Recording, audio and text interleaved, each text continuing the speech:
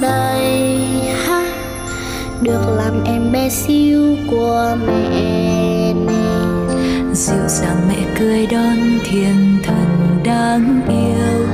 Mẹ nhìn con hạnh phúc biết bao. Mẹ dạy con hãy nhớ làm người tốt. Chân thật không nói dối bao người và bao dung mọi người bên con. Nhân đại khi con gặp khó khăn